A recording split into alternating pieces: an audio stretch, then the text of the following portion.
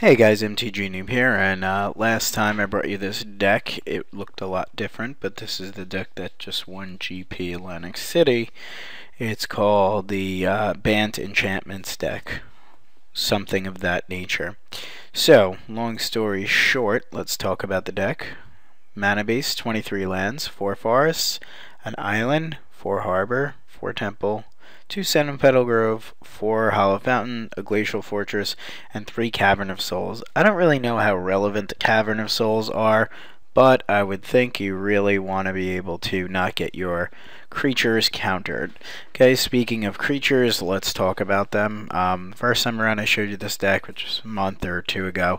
Yeah, the Invisible Stalkers at 4 and the Geist of St. Trafts at 4 and some like Elvish Visionaries or some BS that sucked. Um, everything's kind of got an upgrade, a makeover, a facelift, whatever you want to call it. For pilgrims, the reason for the pilgrim, it gets you to three really fast. That's essentially it.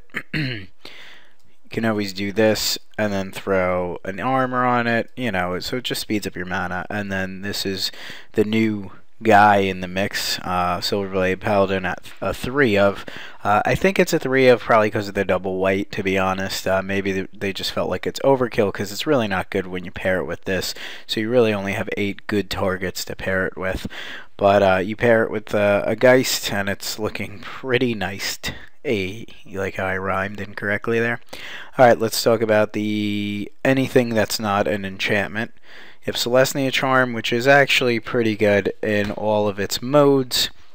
Um, you can plus two plus two and give something trample for the win. You could exile something with power five or greater, and you can make a knight token if you really need to to pair it with this end step pre in combat, etc., etc. Everything that's not an enchantment continued is increasing savagery. So put five 1-1 counters on one of your unblockable or hexproof guys, and it's pretty much a nightmare for your opponent. It's very hard to deal with hexproof guys, as you know, but it's insanely hard to get um, a hexproof guy that is giant, very dead. Um, okay, so let's talk about our enchantments. Abundant Growth fixes your mana, it also draws you a card. Ethereal Armor is probably the second best enchantment in the deck.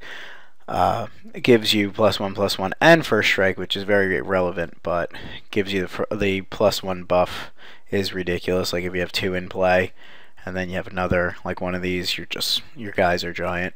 And then the best enchantment in my opinion in the deck is rancor. Always comes back by always i mean most of the time and gives your guy trample which is really nasty especially when it's a double striker.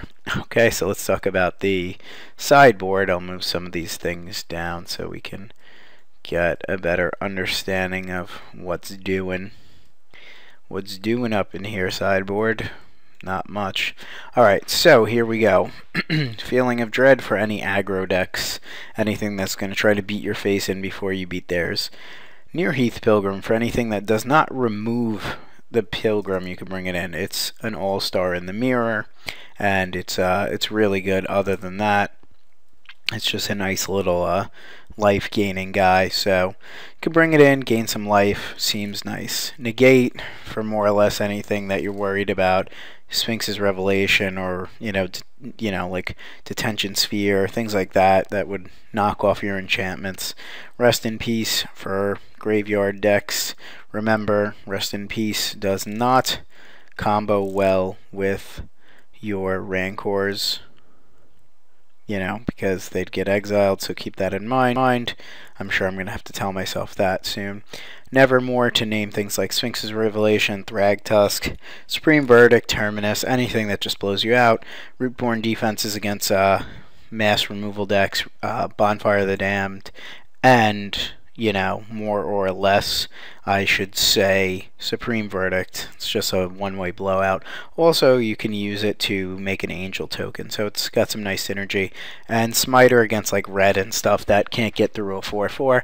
And finally, a card that I'm a little bit annoyed that I had to have in the deck, Angelic Overseer, because I think I sold mine for like a quarter way back when, and I just had to pick it up now for the deck for like 320.